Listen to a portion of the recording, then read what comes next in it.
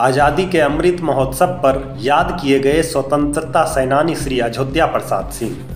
स्वतंत्रता सेनानी का सम्मान, देश का सम्मान है हीरो राजन कुमार। आज़ादी के अमृत महोत्सव के उपलक्ष्य में वरिष्ठ स्वतंत्रता सेनानी श्री अयोध्या प्रसाद सिंह को श्रद्धा सुमन अर्पित कर विशेष सम्मान दिया गया।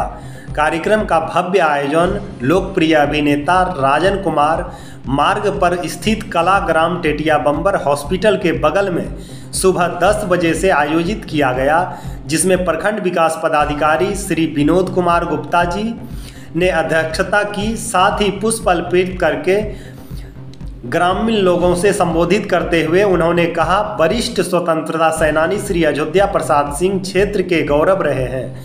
उन्होंने प्रखंड को आगे बढ़ाने का सपना देखा था, जो सफल हो रहा है। प्रखंड चिकित्सा पदाधिकारी और पूर्व कुमार ने कहा, हीरो राजन कुमार के दादाजी लोगों के लिए प्रेरणा रहे हैं।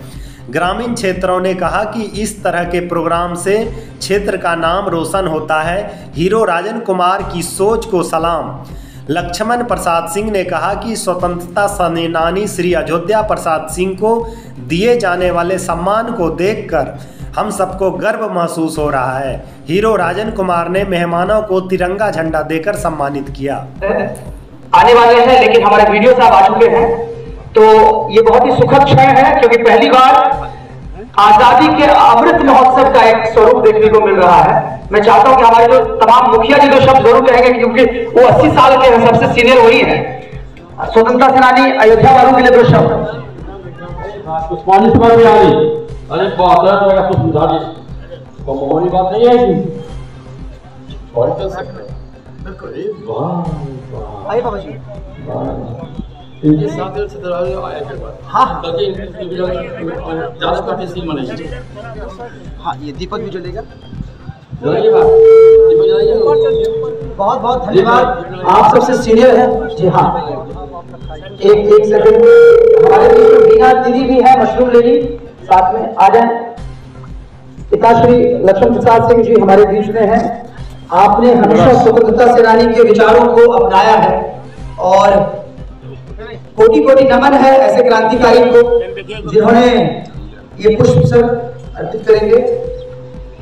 दिल से धन्यवाद है इनका आशीर्वाद। कलाग्राम के इस प्रांगण में आप तमाम आए हुए मेहमानों का हम इस्तेमाल करते हैं। स्वतंत्रता सेनानी परिवार की तरफ़ से। ये पुष्प है, अर्पित करें। सच मायने में श्री प्रसाद सिंह जी एक क्रांतिकारी रहे। 1942 में अंग्रेज़ों के दांत खट्टे किए इन्होंने और उस वक्त में जो बड़े बड़े क्रांतिकारी थे, भूमिगत हो गए थे आप अंग्रेज़ों ने इनको पकड़ने के लिए पुलिस छोड़ रखा था और भूमिगत रहकर इन्होंने देश की आज़ादी के लिए काम किया। एक और हमारे क्रांतिकारी आ रहे हैं, आए। जय हो जय हो जय हो। आप